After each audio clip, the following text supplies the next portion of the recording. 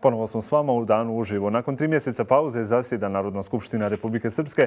Poslanici se bude iz zimskog sna, tek u martu sjedaju u klupe i donose plan rada za tekuću godinu. Ne brinu jer su plaćeni i za nerad na godišnjem nivou za njihove plate izvoji se blizu 3 miliona maraka.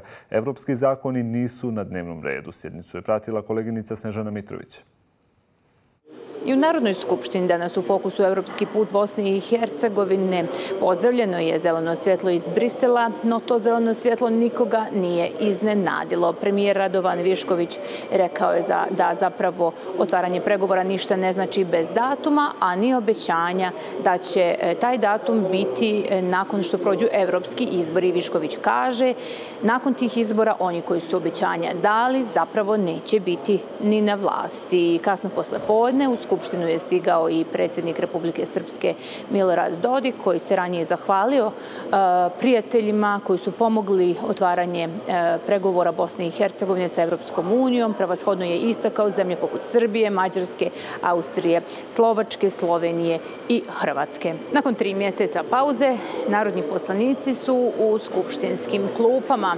Nakon aktuelnog časa raspravljalo se i o programu rada Skupštine za 2024. godinu, već je mart mjesec, a tek se raspravlja o onome što će se e, raditi. Narodne poslanike interesovalo je mnogo toga od životnog standarda građana do e, puteva magistralnih koji su u lošem stanju, posebno puteva u Hercegovini. Konkretno put Foča Šćepan Polje bio je u fokusu narodnih poslanika opozicije. Uz obećanja vlasti da će se sve rješavati, nastavljena je sjednica Skupštine.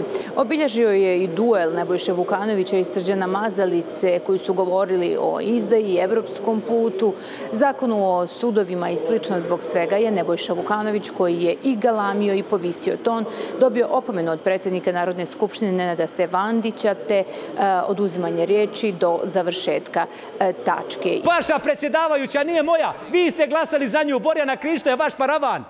Vi ste Konakovića. Gospodine Vukanoviću, gospodine Vukanoviću, vi ovdje stalno provocirate ljude i onda kad dobijete odgovor, znate samo da galamite. Ja vam zbog ovoga svega, gospođi Petrović, dodjeljujem opomenu, a vama oduzimam riječ po ovoj tački dnevnog reda. U Skupštini će se nakon pet godina naći pojedini revizorski izvještaj, a posebno u fokusu su oni negativni za šume Republike Srpske i Lutriju. Snežana Mitrović, N1, Banja Luka.